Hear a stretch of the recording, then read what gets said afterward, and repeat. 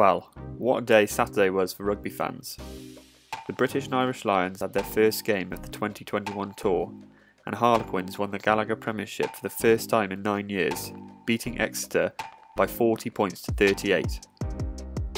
Harlequins have been fantastic this season, debatably playing the best rugby, and this final certainly echoed that. Before we get into the video, I just want to say thanks to everyone who subscribed. We've actually reached 100 subscribers now, so that's absolutely brilliant. If we can keep that going and on the road to a thousand, I mean, that would just be great. So thanks once again, and if you haven't subscribed, then just go down and hit that subscribe button. Thanks everyone. Exeter were very unlucky, I must say.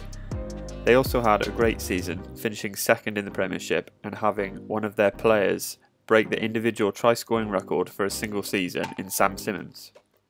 However, it was not meant to be, and Harlequins took full advantage of this.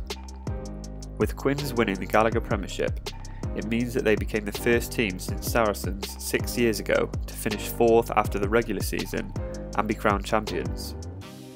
We must remember that their head of rugby, Paul Gustard, departed with the club in January, so what an astonishing turnaround for fan favourites Nick Evans, Adam Jones, and Jerry Flannery.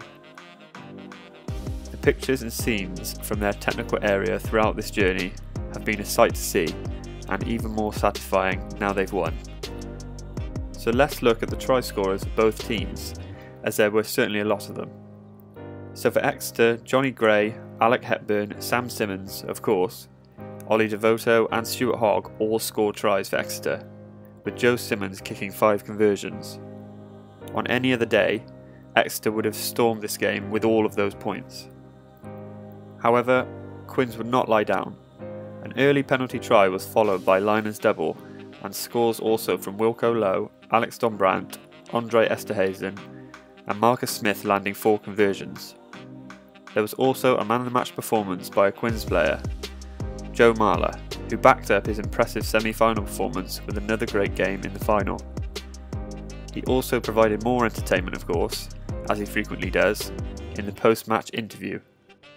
Quins star Alex Dombrandt came out after the match and said that the belief in the squad is sky high, and that a lot of people outside the squad doubted them and didn't give Quins a chance. Quins were doubted due to the, their free flowing game, which would be nullified by Exeter's championship mentality. However, like Dombrandt says in, in his interview, whoever scores the most points wins the game, and Quins back themselves to outscore anyone.